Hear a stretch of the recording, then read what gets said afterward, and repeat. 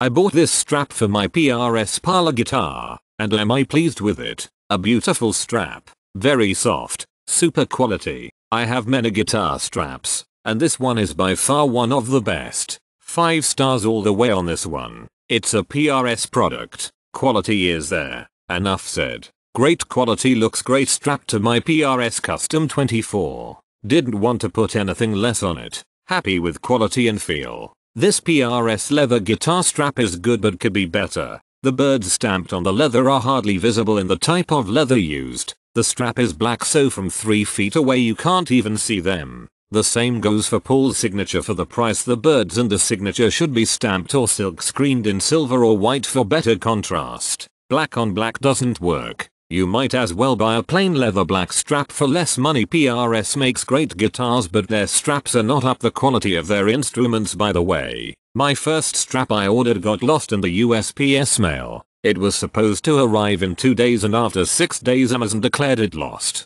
I texted customer service and they placed a new order that I got in the next 2 days I think the problem is with the USPS. It is common for a package to get ping-ponged from post offices for days until is lost in the system. This is not the first time this happens to me. Looks great and has a good quality leather. To be honest you don't really notice the birds on there after a while. I think it is overpriced for what it is but it's nice to have a PRS setup.